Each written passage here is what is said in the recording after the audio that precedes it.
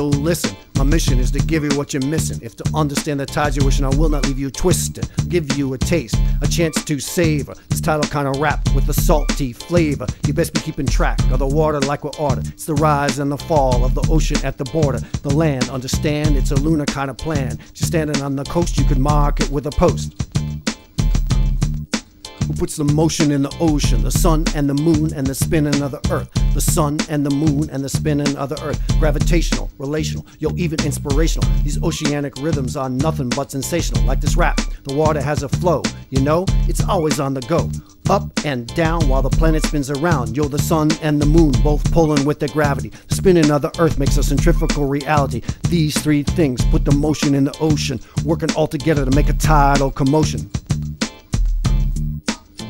the motion in the ocean, the sun, the moon, and the spinning of the earth. I said the sun and the moon and the spinning of the earth. Though the moon is the smallest, it's the closest of them all. So its pull is the strongest, got the biggest rise and fall. Tied to a lunar rhythmicity, a monthly tide simplicity. That follow its phases with a solar complicity. It amazes my mind to find this daily aqua grind, cause they're changing all the time. From high to low, the wave it slowly goes. Each day they occur, like 15 minutes later, as the moon goes around the earth. It's a tidal inspirator. I ain't being rude, dude, when I'm talking magnitude, which depends on location, a little such vibration, shape of the coast, the slope of the shelf, continental, makes the tides temperamental.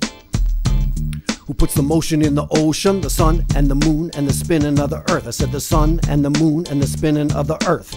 Moon is moving full and aligned with the sun, we get the biggest tidal run, and the difference is a ton. With the highest highs, the lowest lows, a springtide kind of rise, and around the world it goes. In the quarter, first or third, neap tide is the word, with the lowest highs and the highest lows, as the sun and the moon have a battle gravitational that dampen down the bulge, so you see it's quite relational. While hope springs eternal, a tides are semi-diurnal. Two highs and lows each day, equal magnitude, I say, but the difference isn't fixed. Out by Frisco Bay, cause their tides are mixed, two different heights each day.